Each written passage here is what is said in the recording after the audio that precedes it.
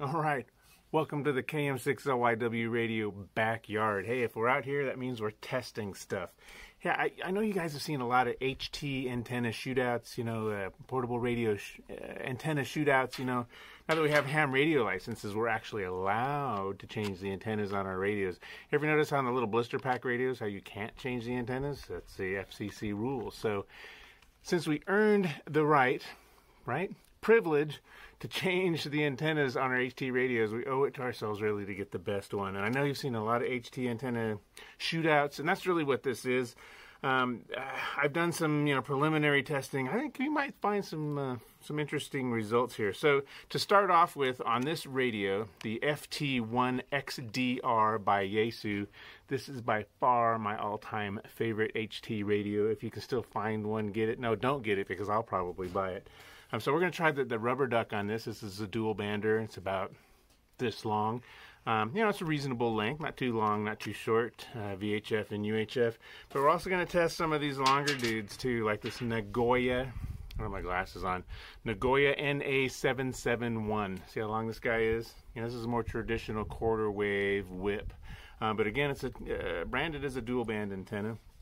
And then we're also going to test the, uh, the, this is a similar one by Diamond. This is the Diamond, this is popular, the SRH77CA If you can read that even if you could. It's upside down. Again, kind of a longer whip. Yeah, yeah these have some gain. Well, we're going to find out.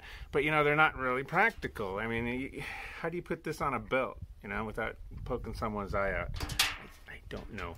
Um, and then we've got some other more interesting ones. So we've got, this is a diamond. Look how small this guy is. I mean, just put him on the radio just see for some scale. Look how small that guy is. You're not going to put someone's eye out with this. Plus, you know, if you're as, uh, you know, hazard prone as I am, you know, you're not going to break this antenna either because it's like a, it's like a quarter wave whip uh, completely loaded into a spring. So this one's convenient.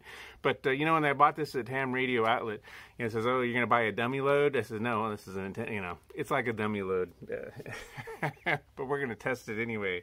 Uh, make sure I read that was the Diamond SRHF 10. 10. And then uh, last and certainly not least, this is one of my favorites. This is the Signal Stuff Signal Stick. Um, the one thing that this has different, there's a couple of different things about this antenna. One, you know, you can put this, tie it in a knot basically, and put it in a shirt pocket, um, and then use this all day. But if for some reason you need a lot of gain, you can go out and get this longer guy and just unfold them, and you've got a quarter wave, uh, fed quarter wave right here using a signal stick by signal stuff. And then we're going to actually modify this one a little bit in our final test. This will be like the bonus round. We're going to put a counterpoise onto this guy. Some people call these rat tails. This kind of completes the antenna. Um, this actually turns the end-fed quarter wave antenna into a center-fed half wave and we're going to kind of hold it out like you know at a, at a, at a low angle not really like this but more like this so we get eh, a little closer to 50 ohms of impedance there so we're going to talk about all of these antennas Actually, we did just talk about them. We're going to test all of these antennas. I think you might be surprised. Let's see what the common denominators are. Let's see. Uh, let's, we're going to do some S meter readings. I've got the ICOM 705 uh, in the shack, and I've got like a. Uh, almost like a dummy load antenna. Actually, I, I have a Baofeng antenna sticking out the side of it. I turned the RF gain down a little bit, but we're going to watch that S meter, okay? Watch the S meter on the radio. That's the little meter on the left side that goes, you know, don't watch the, you know, the, the, the, the sexy waterfall, but watch that little S meter. You know, it's going to be between S, you know, S, I don't want to give away the results, S5, S10, I don't know. Check that out that's really what we're watching. And then we're going to look at uh, how well these performed, not only on the S meter signal strength, but you know, did they sound okay too, right? You know, was uh, signal strength enough? Was there a lot of noise behind my signal? A lot of times, if there's a lot of noise behind the signal, that'll artificially increase your S meter reading. So listen to it as well as watching the S meter. All right, let's do the test. I'll be right back. All right, this is the Yaesu FT1 stock antenna. Yaesu FT1 stock antenna. KM6 LYW radio testing. All right, up next for Nagoya fans, we've got the NA771. NA771, this is for Nagoya folks. This is KM6 LYW radio testing. All right, now we have the Diamond SRH77CA. This is a long diamond with uh, KM6 LYW radio testing the diamond. All right, now the shortest one of the bunch, the SRHF-10 by Diamond. SRHF-10. This is the, the little stubby dummy load by Diamond. This one does okay. This is KM6LYW radio testing. All right, now we've got the signal stick by Signal Stuff. The signal stick by Signal Stuff. Boy, this one's really flexible. Uh, this is KM6LYW radio testing the signal stick.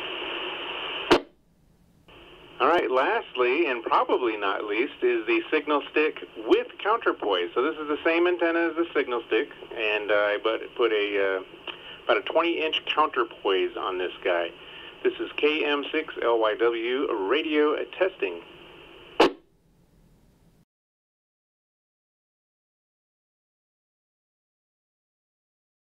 All right, testing is complete. I, now that we have the results here, um, I'm to show them on the screen, but you know I've got it on my piece of paper. So this is a hard day in the field. So the you know these are in order of the S meter, okay, and maybe they sounded some sounded good, some sounded you know worse. I don't know. That's kind of the subjective measurement to this. So the FT1 XDR, the the rubber duck antenna with the radio, that came in at a 4.3. I was kind of disappointed with this because Yaesu usually does a pretty good job matching these, right? Um, to the radio itself. Uh, the next one was the Nagoya. Honestly, I'll be honest with you, I don't use this one that much, mostly because I bought like the Baofeng N and I needed to use an adapter, but that's the only reason. And this came in at an S level of 4.9. I know they waver a little bit, but I kind of took a an average, right? So you're gonna have to have to work with me there. And then there was the uh, the Diamond guy. This guy came in at about five S units on that radio.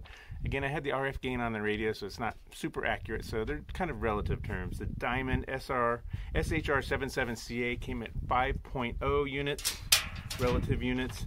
Then there was the uh, the little stubby guy where you can't poke your eye out with this guy. Um, he also came in at 5.0. I was surprised. Um, usually, when I'm using this one and transmitting, they don't hear me very well on the repeater, so take that into account don't count on this one being a 5.0, 5.0 all the time. I was surprised that one did as well as it did. The signal stick, I'll be honest with you, I expected this one to do really well. Um, it got a 5.4. All right, these are in order of more signal, and so you know it wasn't shockingly better than you know the other quarter wave whips. But you know what's the difference between these two? Yeah, one's thicker than the other, but why is one thicker than the other? This is a dual band antenna. This diamond antenna is a dual bander for UHF and VHF. And I think the combination of the two, you know, they work well on both VHF and UHF, but they work great on neither. Unlike the signal stick, this is strictly a VHF uh, whip. This is just a single conductor in here, okay? Um, there's no UHF thing in here. There's no coil. There's no compromise from a VHF perspective. So yeah, I would expect this to do a little better. The thing that got it, that into my head was like I have that Kenwood D74, that HT. It's a tribander, and there's three different elements, or at least three different uh, antennas inside of it, and it's it's kind of good at two meters, kind of good at 1.25, kind of good at UHF, but it, it it pretty much sucks at all of them. So you know that that tribander antenna is probably my least favorite. Um, and then, as you saw on the uh, the test here, the thing that really blew up the receiver that was just awesome was when I connected this signal stick to the radio. This gets you five S units, but it wasn't until I put on this counterpoise, and this is just a little. Uh, I don't know, quick connect and some speaker wire I got at the hardware store. This is about 20 inches. You, you don't want to you want to make it a little longer than your radiating element. Uh, I'm not exactly sure why that is, but uh, you get a flatter SWR, best better SWR overall. So this is with the counterpoise. And I think when I was, you know, when I was testing this, it was just like this, okay? Just hanging off the side here. Now, ideally, you want to point this at the receiver if you can. If you happen to know where the repeater is, that's going to give you a little more gain in that direction. So for me, for my money, the signal stick by itself is fantastic, not only because of its portability, you know, a lot of times I can just tuck it into the radio here, um, but it also gives me the option with this counterpoise just to uh, to make it even more amazing. Now, if I'm just walking around, let's say I'm just, you know, going for a hike in the neighborhood, honestly, I'm just going to use the little diamond uh, SRHF10. You know, if I'm mostly listening to amateur radio, which is what we should all be doing, is doing a lot of listening. Um, this guy is more than good enough, and there's no way you can break him, and he's pretty convenient. But if you really need to get out, you're backpacking. Um, I would actually go with the signal stick, and you're and you're not using UHF. Keep in mind, if you're not using UHF, uh, the signal stick I think is the winner here. It's empirically evident. Um, this is you know been my observation. You know as I've owned these, and if you really want to kick it up a notch, add the counterpoise to the bottom of the signal stick. All right, this has been another KM6LYW radio production. Uh, thank you for hanging out with me here in the backyard. Hey, patrons, thank you very much. Patreon.com slash KM6LYW radio. You guys make this possible. I know we talk about the DigiPi a lot too. Uh, you know, being a patron gets you access to early access to not only videos but software. I happen to be a software engineer. Uh, if you want access to the DigiPi image, which is uh, has all of the amateur radio data modes that we talk about on this channel packed into a single SD card that you can shove into a, a Raspberry Pi and access all of those from a web browser. You don't need to be a, an engineer or super geek or even understand Linux to make this work. If you have a web browser, the DigiPi image, and a Raspberry Pi and a radio, you're ready for data modes. All right, hey, thanks for came, hanging out with me. This is KM6LYW Radio Craig, and well, it's not sunny, cloudy California, and I'm clear.